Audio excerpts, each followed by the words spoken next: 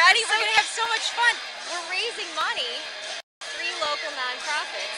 That's right. The waiter or waitress with the most in their glass wins. They're so cute. They're so ready, those teams. The They're just The.